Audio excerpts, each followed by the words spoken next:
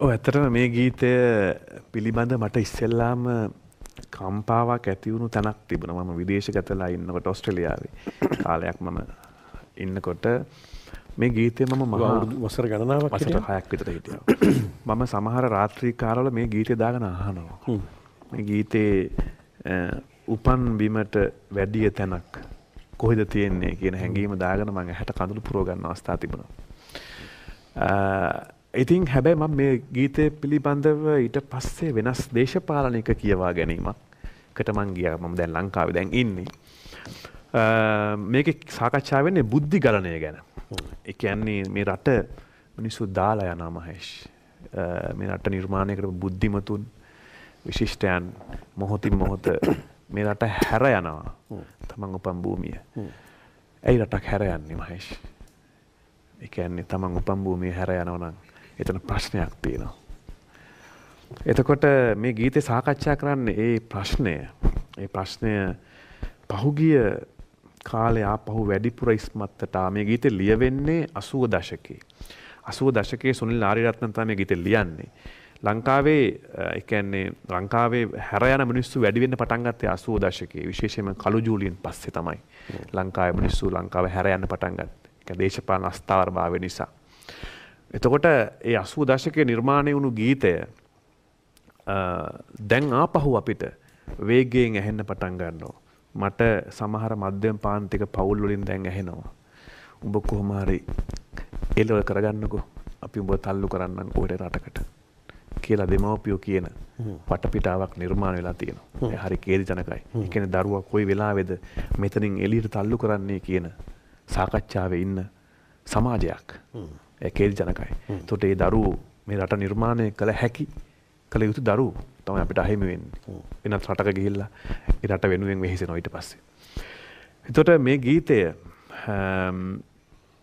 ඇහෙනකොට මතක් වෙනවා අද අපේ රටට මහේෂ් කුණු කන්ටේනර් පිටින් එනකොට අපේ ඉන්න විශිෂ්ට මිනිස්සු රට හැර යනවා. අපිට එන්නේ නැවතොටට කුණු කන්ටේනර්. ඒතර එහෙම සමාජයක රට හැර නොයා සිටියයි කෙසේ සිතන්නද මහේෂ්. එතකොට මට මෙන්න මේකට උත්තර දෙන්න මහේෂ්. මට හිතන දේ මම මේ කියන්නේ මේ ගීතය ඇහෙන වෙලාවේ. හාල් සේරුවක් ගන්න පොල් ගෙඩියක් ගන්න අරගල කරන සමාජයක මේක ඉන්න හිතන රටක් බවට පත් වෙන්නේ නෑ මහේෂ්.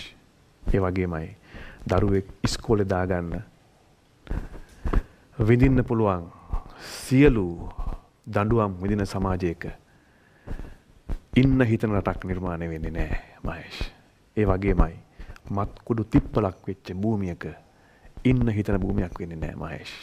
ඒ වගේමයි උදේ හවස බස්වල දුම්රියේ ගෙදරට යන්න අරගල කරන සමාජයක් ඉන්න හිතන සමාජයක් වෙන්නේ නෑ මහේෂ්.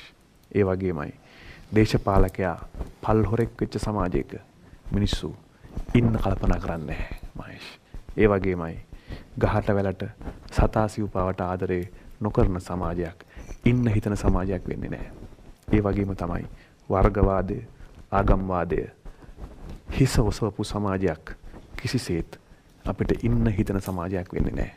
ඒ වගේමයි ලෝකයට හතර අතේ ණය වෙච්ච ඒ ණය ගෙවමින් ජීවිතය විඳවන සමාජයක මිනිස්සු වහා එතනින් නික්ම යන්නයි කල්පනා කරන්නේ.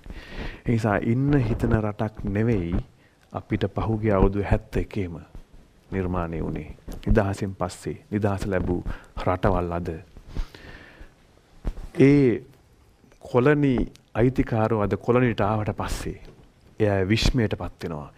එදා මේ අපි අතහැර ගියපු කොලනියද මේ කියලා. ඒ තරමට විශිෂ්ට සංවර්ධනයක් ඒ නිදහසෙන් පස්සේ අපි සමකාලීන නිදහසුණු රටවල් අත්පත් කරන් තියෙද්දී අද අපි තවමත් ලෝකෙ තුන්වෙනි ලෝක රටක් හැටියට සංවර්ධනය වෙමින් පදින රටක් හැටියට අපි දරුවන්ට කියා දෙනවා. එතකොට මේ සරුංගලයේ ගීතය ඇහිද්දී මට ඇති වෙන්නේ උපන් බිමට වැඩිය රටක් කොහෙද තියෙන්නේ කියලා කියන්න පුළුවන් වෙච්ච යුගයක් තිබුණා. අද ඒ හැර යන කෙනෙකුට කියන්න පුළුවන්ද මහේෂ් උපන් බිමට වැඩි රටක් කොහෙද තියෙන්නේ කියලා. ඒ නිසා හැර යන්න බල කෙරෙන තමන්ගේ මාතෘ භූමියෙන් හැර යන නම් බල කෙරෙන්නේ ඒ සමාජය අපි කවර සමාජයක්ද මේ නිර්මාණය කොට තිබෙන්නේ මෙයට දේශපාලන ව්‍යාපාර. ඒ නිසා මේ ගීතේ කියවා ගන්න වෙන්නේ මේ ගීතේ මම වැඩිදුර අර්ථකථන කරන්න යන්නේ නැහැ මේක ඉතා පහසුයි. සරුංගලේ නුඹ අහසේ අපේ ළමයි තාම දිබ්බිමයි. සරුංගලේ කියලා කියන්නේ මේ හැර යන අය. හැබැයි මේ සරුංගලේ හැදුවේ මේ අපේ මහ පොළොවේ අපේ මිනිස්සු. අපේ මිනිස්සු මේ සරුංගලේ උඩ යවන්න අප්‍රමාණ කැප කරා. අප්‍රමාණ වෙහෙසුණා. හැබැයි සරුංගලේ අපිට අහිමි උරුම නෑ. ඊට පස්සේ කියනවා සරුංගලේ නුඹ වාගේ රට හැර යන අපේ ළමයි. ඉතින් මේ ගීතේ පිටිපස්සේ අපිට තියෙන්නේ දුක්බර කතාවක්.